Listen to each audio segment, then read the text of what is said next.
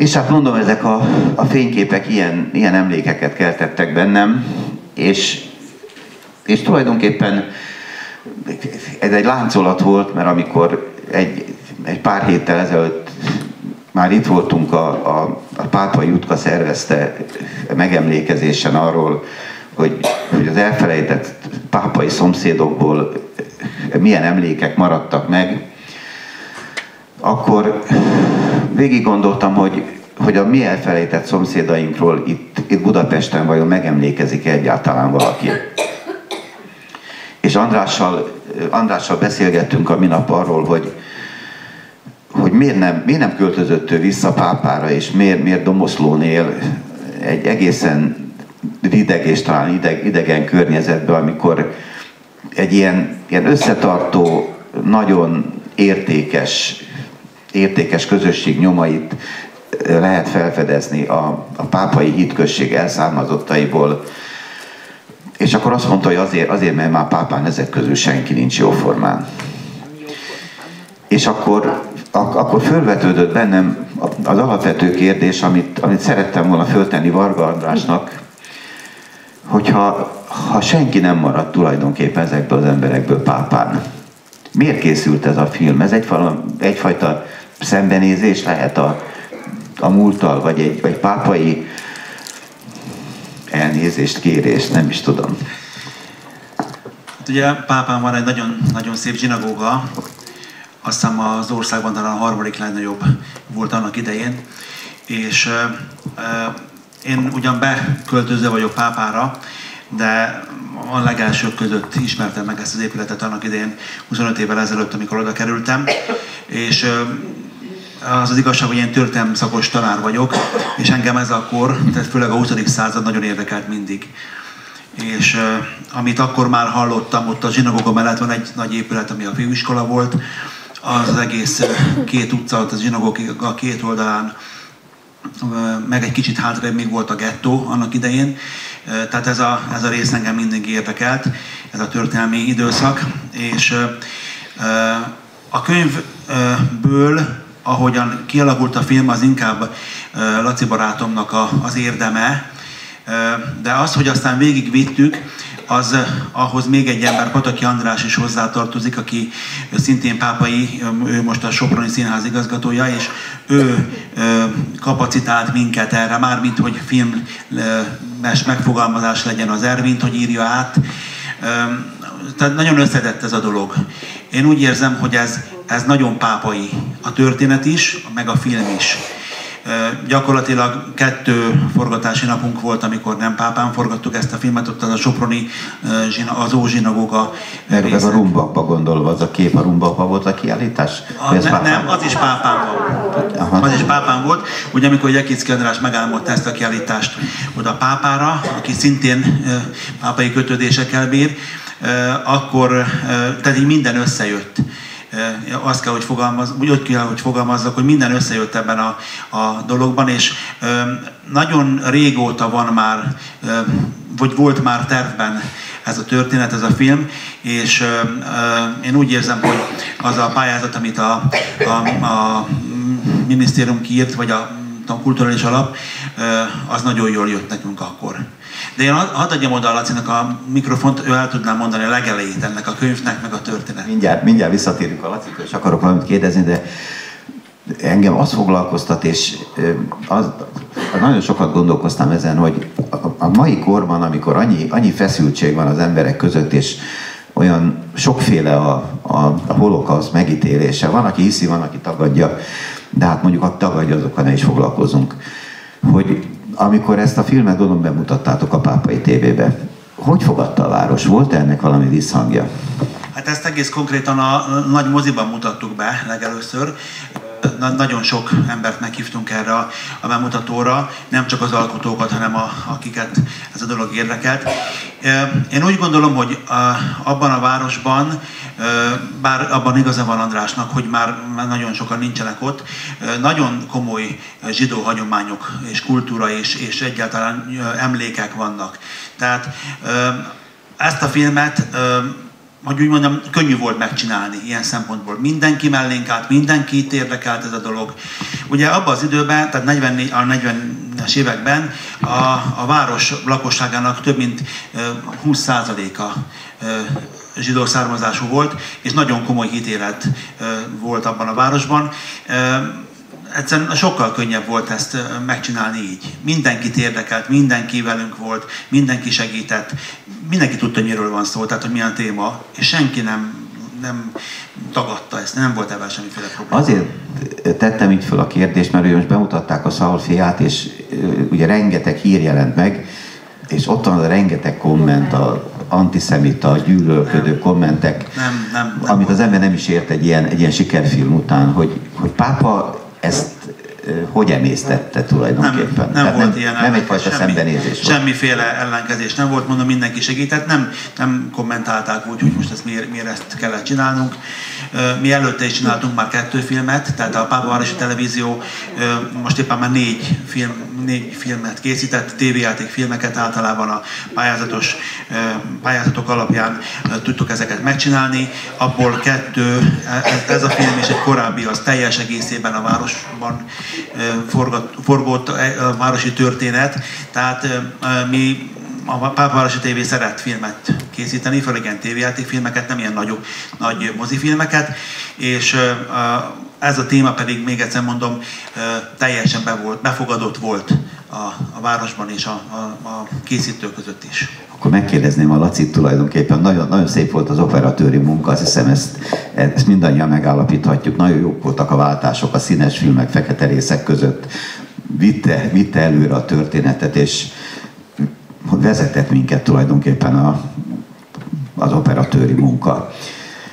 Akkor, amiről itt az előbb elkezdtünk beszélni, folytatni kéne, hogy hogyan is született ez a film? Tulajdonképpen én nagyon örülök és büszke vagyok arra, hogy most nagyon sok pápai van itt a teremben, és a fél pápai hitközség tulajdonképpen, akik nem ott van. És van köztünk egy olyan pápai, aki igazából a, a csíráját adja ennek a filmnek, mert amikor a, a Daliló kis novellás kötetéből készülő, vagy akkor éppen forgatás alatt levő filmünk a Napfényben fürdő kastély, ami tematikájába nagyon rokonítható ehhez a Képtelen történet című filmhez. A pápai könyvtár igazgatójával készítettünk egy riportot, még mielőtt én indultam a, forgat, a filmforgatásra, és arról számolt be, hogy ők a könyvtári nyomdában kiadtak egy ö, könyvet, Képtelen történet címmel, és Herman István úr, a könyvtár igazgatója azt mondta, hogy ha visszatérek a forgatásról, akkor ad ő ebből egy pár példányt nekem. És ez így is történt, majd ezek a könyvek bekerültek a Varga úr íróasztal fiókjába, a német úr íróasztal fiókjába, és bekerült Pataki András íróasztal fiókjába. És én rendszeresen havonta, két havonta rágtam valamelyiknek a fülét. Ott a fiókokban. Hogy mikor lesz ebből film. A Herman úr pedig az én fülemet rágta, hogy mi a hír a filmmel kapcsolatban, és hát egyszer csak jött ez a lentkáos pályázat, és akkor én hát már nem is türelmetlen voltam, hanem azt mondtam, hogy itt az alkalom, és akkor csináljuk meg a filmet. Hát ez volt a gyökere, úgyhogy ezt köszönjük neked Pista, így innen a színpadról is egy jó filmhez kell egy jó alap, egy jó szöveg, egy jó rendező, egy jó operatőr, egy jó forgatókönyvíró és a színészek. Én nekem nagyon-nagyon tetszett a, a színészi munka is, és az, hogy meg lehetett tapintani ezeket az egyéniségeket, kidomborodtak, tudtuk pontosan, hogy ki kicsoda, kinek mi a, a helye ebben a filmben. Mennyi, mennyiben sikerült átélni ezt a szerepet? Nagyon nehéz volt beleélni magát egy ilyen helyzetbe? Most elnézést kérek, és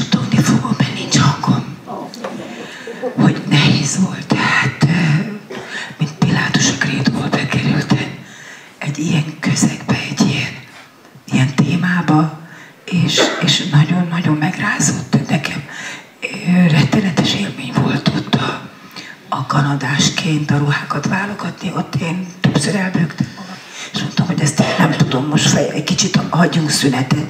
Nagyon-nagyon nagy trauma volt nekem megfogni azokat a ruhákat. És átérezni, átgondolni, hogy ez mi lehetett ott. Az, hogy, hogy nincsen gyűlölködés a film miatt az emberekben, pápám, vagy akárhol, ahol majd látják televízióban, stb. Azért nincs, mert van, van felkiáltójel, de nem szándékosan. Tehát mindenki befogadja ezt a dolgot, mert egy családtörténet. Családnak, bocsánat, lehet hallani, amit én mondok? Hogy ez egy család, egy családi, és mennyi családhoz ötvöződik. De tulajdonképpen ez egy, ez egy társas játék, és a társas játék az valami olyan élmény,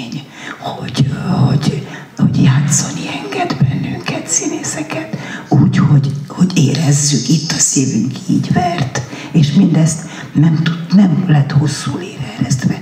Ezt éppen most beszéltük meg, hogy, hogy ez, ez az összmunkában, a, a szeretetben, a odafigyeléssel, a, a, azt, hogy tudtuk, hogy mit kell csinálni rendező által, író által, operatőr által, hogy, hogy ez 11 nap alatt készült el.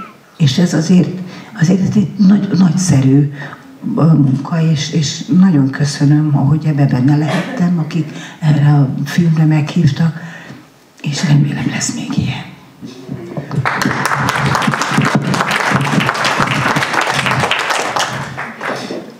Aki megnézi ezt a filmet, és, és nem pápai, annak, annak kedve támad pápára menni. Mi egyszer elmentünk a feleségemmel pápára, aki a szegről végről pápai, mert pár évet járt ott az általános iskolában pápán. És hát kerestük a, a régi emlékeket, a, a pápai jutkát, meg a, a többieket, akiket úgy emlegetett. Lehet valami olyan furcsán ezek.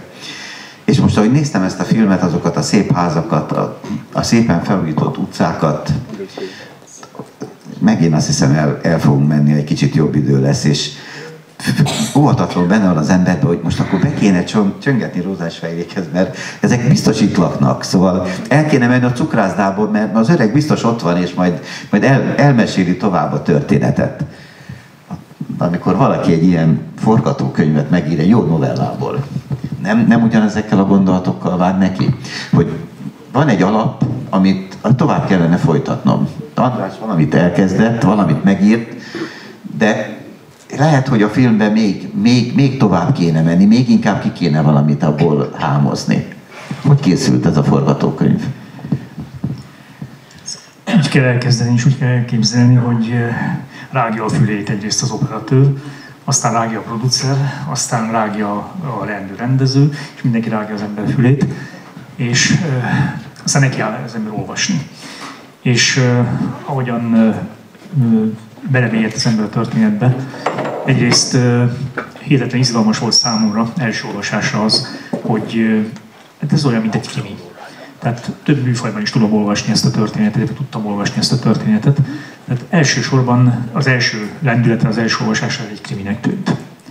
És éppen azért, mert rendkívül, ahogy a krimik szokták, tehát tudom, hogy mi a vég, és elkezdjük visszafejteni a történeteket, elkezdjük visszafejteni az egyéni életsorsokat, és valamiképpen össze kell hozni azokat a dolgokat, amik különféle családtörténetekben, különféle személyiségeknek a történetében el vannak rejtve. De úgy, hogy ne lőjük le a, a történetnek a végét idő előtt, tehát ezt a bizonyos izgalmat ezt is kell tartani. És hát a másik dolog az, hogy film akkor lesz egy elbeszélt történetből, hogyha meg tudunk, meg, megpróbálunk képekben gondolkodni, és a filmet valamilyen fajta motivumhálón keresztül azért össze tudjuk kapcsolni. Ezeket a képeket, amik, amik azért meg történetrészletek. Ugye éppen Zsuzsa mondta az előbb, hogy nincs hosszú ére ezt a, a dolog, hanem bár látszólag, látszólag nyugodtan peregnek az események, és mégis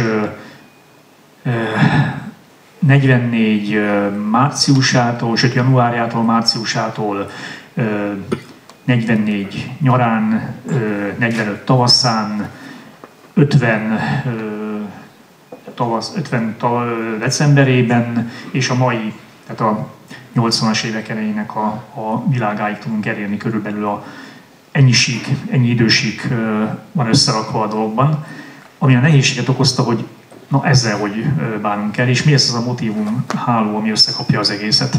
És hát e, ilyenkor a dramaturg rettesen fő a keserű levében, mert, e, mert nem akarja bántani az írónak az anyagát annyira, Ugyanakkor gondolkodik az operatőr szemével, hogy képekben kell valamit látnunk, és akkor még a rendező is üti a hátát, hogy akkor ebből majd hogy lesz egész.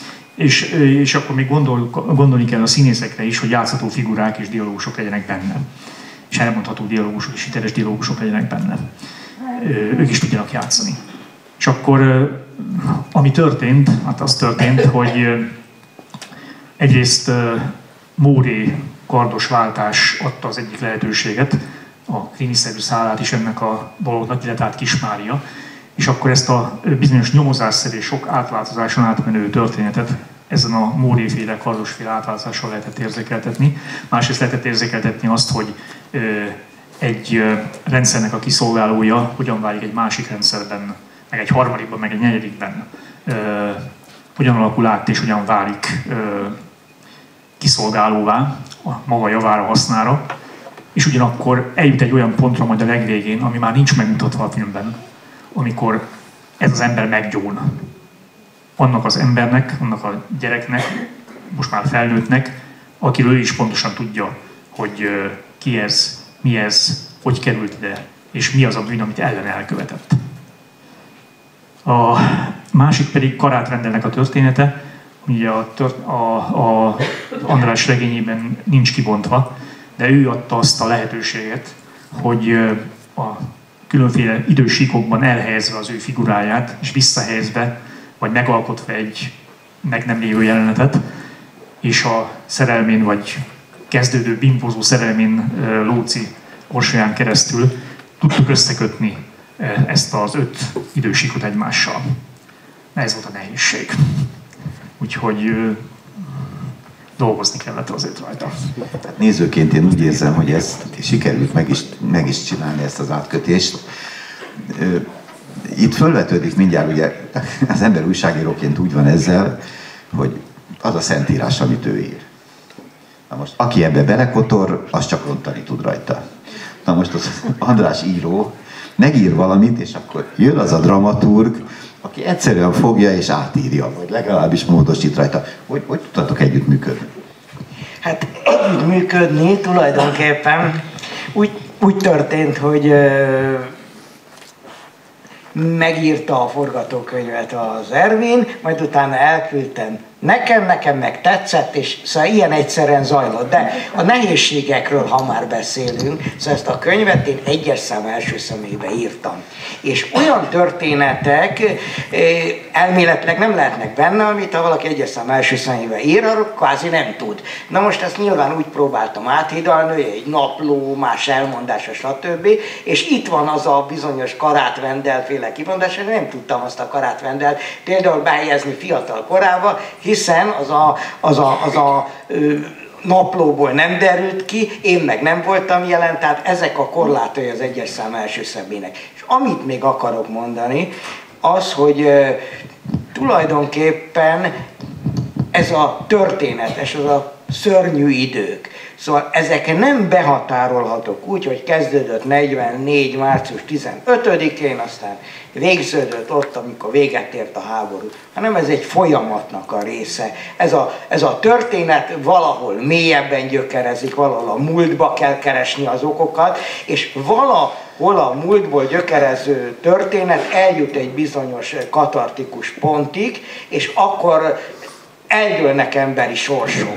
De ezek az eldőlő emberi sorsok, azok valahol, hogy szokták mondani, képzelse, már meg volt írva a, a, a régi időkben. És az később átnyúlik, és pont ezt próbáltam a könyvben is érzékeltetni. Ez nem ér véget avval, hogy mit tudom én, szóval Auschwitzot felszabadították, és hazajön mindenki, hanem ez aztán nyomon követi az embereket, mert láttuk ugye, hogy 50-es években is nyomon kísérte ezt a, a mind a, a, a záronkát felnevelő asszonynak a történetét, a gestaposból AVH-s, illetve nem gestaposból, hanem, hanem nyilas pribékből AVH-sá átvedlett, illetve más személy azonosságát birtokló személynek a sorsában, mert, mert ha a, a múlt, én ezt írom is valahol a könyvben, hogy a, a múlt az úgy kúszik az ember után lidércként, és az ember, míg ezek a lidércek élnek, addig ezektől nehéz szabadulni. És sajnos ennek van üzenete a jelenre is. A másik, amit akartam mondani, az, hogy hát a szörnyűség maga olyan, hogyha ezt ilyen masszába öntik rá az emberre, például látunk egy háborús dokumentumfilmet, hadseregek feszülnek egymáson, lőnek jobbra-balra, az, az úgy nem érzékeli az ember azt a szörnyűséget, de a, maga az egyénnek a szerepe van megjelenítve, és mint a történetben is egy egyénnek vagy egyéneken keresztül érzékeltettem ezt a történetet, az teljesen más. Nekem most hirtelen eszembe jutott egy, egy, egy régi film, egy régi háborús film, annyi háborús film volt, hogy csak na. De volt egy film, talán a japán-amerikai háborúval játszódott, és hirtelen szembe került egy japán katona és egy amerikai katona. De face to face, szóval ugye egy méterre egymástól, és nem tudtak mit kezdeni egymással. És akkor látták egymás szemébe a rettegést is, meg azt, hogy ez ugyanolyan ember, mint én vagyok, most mit kezdjünk egymással, és, és az a őrület, hogy egymásba csapnak, és az az őrületig fokozódik ez a, ez a, ez a tulajdonképpen egy bepánikolás mindkét részről, és ez a pánik hajtja egymás szuronyaiba őket. Szóval ez az, mikor a, mikor a személyiség megjelenik, és az a személyiség az valamilyen módon er, az igazi katarzist kiváltja, és ezért választottam azt, hogy személyiségeken keresztül próbáltam azokat a szörnyűséget megjeleníteni, vagy egy-egy tárgyakon, mint például egy, egy, egy leltári számmá vedlett cipő a, a kanadás válogatók kezében, és, és ezek néha többet mondanak, mint ha leírják, hogy mit tudom én, hányan haltak meg itt, meg hányan haltak meg mint a számok nem játszanak szerepet, számháborúban ilyen esetben nem szabad belemenni. Hát tulajdonképpen eh, ezért történt így, hogy én ezt a könyvet ilyen formában írtam meg. És mi láttunk ebből egy filmet, ami nagyon mélyen lírai, és nagyon mélyen valóság. Mennyi ebben a, a valóság, és mennyi ebben a, az írói munkásságod? Szóval ez száz százalék dokumentum, ez valóban egy, egy, egy nyomozás végeredménye, ami, ami végül vászorra került, vagy ugyanúgy, hogy egy, egy ilyen dokumentumfilm, lírai dokumentumfilm elkészül, van egy magja, és aztán azt föltupírozzuk egy, egy egységgé. Hát ez úgy szerepel a, a, a, a könyv alcíméből, riportregény, tehát riportszerűen dolgoztam fel. A dokumentum maga a történelem, ami ott feszült mögöttük, de maga a személyek, a konkrét személyek, az egész tulajdonképpen mondjuk így az írói fantázia terméke, de ehhez hasonló ilyen történetek voltak csak más formában összerakva, más hordozták magukba ezeket az emlékeket, de ez ilyen formában konkrétan, hát nyugodtan mondhatom azt, száz százalékig mondjuk írói produktum. Jó, ez nagyon, nagyon meggyőző volt, amit mondtál. Csak fölvetődik az emberbe a kérdés, jó rendben, a Rosencweigéket most te megírtad. De ki fogja megírni a többieket? Hát ez nagyon jó kérdés a többieket, mert, mert hiába hasonlítanak, hiába ugyanaz a történelmi háttér, hiába hasonlóak a történetek, és mégis mindegyik más. Tehát rengeteg Rosenzweig történetet lehetne előhozakodni, rengeteg szempont szerint lehet e, e, megjeleníteni, de rengeteg oldalról is lehet nézni, és mindegyiknek más és más lesz a végkimenetele, hiszen ezek, ezek, ezek nem, nem, nem, nem egy irányba mutatok, egy zsinórra fölhúzható történetek, hanem rettenetesen szerteágazó. Ez olyan, mint egy, képzeljünk el egy fát, aminek borzalmas sok gyökere van, és abból, mit tudom én, indák lognak erre, amarra, amarra, és akkor ilyen mondjuk hogy szabad vegyértékkel rendelkeznek minden irányba, fölcippantják az információt, és a másik történetté fog ez alakulni. Én azt hiszem, rengeteg Rosenzweig történetet lehetne megírni. Épp, épp erre gondoltam, hogy hogy el lehetne azon játszani, hogy én most körbeadom itt a mikrofon mindenkinek, akinek vannak pápai gyökerei, és mondja el a saját családja történetét. És akkor itt ülünk holnap reggelig, mert azt hiszem nagyon sok ilyen történet lenne, nagyon sok regénybe illő történet, nagyon sok filmvászonra kívánkozó történet lenne, és akkor összeállna egy, egy nagy regény, egy nagy film, egy, egy Brudenburg ház, vagy valami hasonló történet, és tulajdonképpen egy város zsidó életének, elmúlt zsidó életének összeállna a krónikája. Vajon András, téged kérdeznélek, hogy folytatható-e ez városi televízió szinten olyan értelemben, hogy meg lehet-e örökíteni azoknak a, az embereknek a elfeledett történetét, akik nem szerepeltek ebben a filmben, és van-e még ilyen esetleg? Igen, épp ezt akartam hogy kapcsolatban mondani, hogy amikor Gyekic András elkészítette azt a kiállítást az elfeledett szomszédainkról, akkor mi elég komolyan foglalkoztunk vele, többféle szempontból is.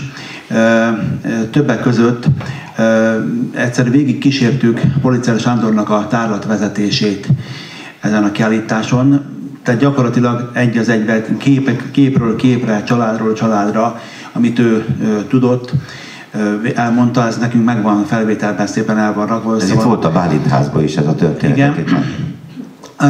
Hát Szóval tényleg nem, nem, tudok, nem találok szavakat, nagyon-nagyon kemény. Tehát azok a történetek, amiket ott ö, emberek megéltek, és ugye abba, abból a szempontból, hogy ő ismerve ezeket a családokat, vagy, vagy a családokból valakit, vagy esetleg csak hallás útján el tudta mondani, hogy hogyan éltek ezek az emberek, ezek a családok, hogyan éltek a háború előtt, milyen szorgalmasan iparosok, kereskedők, tehát a város előbbre vívői voltak, és akkor hirtelen ezt a, ezt a nagyon komoly társadalmi erőt megszüntették, elvitték onnét. Úgyhogy ha bármilyen filmje vagy, vagy könyve lesz még esetleg az Andrásnak, vagy a, ebben a témában a városban találunk, mi állunk elébe, de e, még egyszer mondom, hogy a zsinagógá, zsinagógával kapcsolatban mi több ilyen anyagot is feldolgoztunk, e, mert e, ugye minden évben van például több megemlékezés is, ott e, nem egyszer felolvasták a, felolvassák a neveket, azt a nem tudom, 2300 nevet, amely, akiket onnét elvittek, abban például, hát gyakorlatilag a Városi TV minden dolgozója részt vett, mi olvastuk ezeket a neveket, azt megoldottak egy nagyon szép megoldással, hogy mindenki egy, azt hiszem 20 nevet olvasott, és akkor ez ilyen vegyesen van, férfiak, nők folyamatában nagyon szépen, és akkor minden ilyen megemlékezés előtt az, az ott megy, tehát lehet hallani ezeket a neveket, hát gyakorlatilag órák hosszát. Úgyhogy amikor, amikor ilyen van, akkor a Városi TV mindig odaáll és segít és megoldja. Hát nagyon jó hallani az ilyet, mert gyakorlatilag itt a nagyvárosban, akik itt élünk Budapesten, ahhoz vagyunk szokva, hogy ezeket úgy elmismásoljuk, ezeket a, ezeket a történeteket. Itt is vannak ilyenek, hiszen, igen? Szeretném mondani, a férjem a családjában is volt, igaz, hogy nem szerepel a Gyetek András könyvébe, a nagynénye, aki egyszerű ember volt, és a Mengele kísérletezett rajta, ő többet tud erről mondani. És ahogy ismerem, meg is fogja egyszer írni András. Szóval itt, itt a városban mi nagyon úgy vagyunk ezzel, hogy, hogy elszakadunk egymástól, talán nem is nagyon tudunk egymás történetéről, múltjáról, és azok a, a, a pápaiak, akik ide kerültek Budapestre, és most itt élnek, és hát egy részük itt van, megpróbálják megőrizni ezeket az emlékeket. Én nagyon, nagyon büszke vagyok arra, hogy egy ilyen, egy ilyen beszélgetést vezethettem, és nagyon, nagyon örülök, hogy találkozhattam azokkal az emberekkel, akik egy ilyen filmet megcsináltak. Nem vagyok filmes, és nem vagyok író, de ugye az emberbe vagy csiklandoz a, az, a kert, hogy jó lenne valami hasonló nagy vállalkozásba fogni, de hát ez, ezt meghagyom az írónak, ezt meghagyom a filmeseknek, meghagyom a színészeknek, akik fantasztikusan nagyot, nagyot alakítottak és nagyon emlékezeteset. És remélem, hogy, hogy tudunk még itt majd máskor is találkozni, más alkalommal, és esetleg folytatni ezt a beszélgetést arról, hogy hogyan próbálják a pápaiak, az elszakadt pápaiak, meg az otthon maradt pápaiak egy tőzsgyökeresen ismerte református városban megmenteni egy, egy jó 2500 lelkes zsidó közösség emlékét, amelyet elsodort a történelem vihara. Úgyhogy köszönöm, hogy eljöttek, további kellemes beszélgetést, gondolom itt ilyen külön körbe még lehet.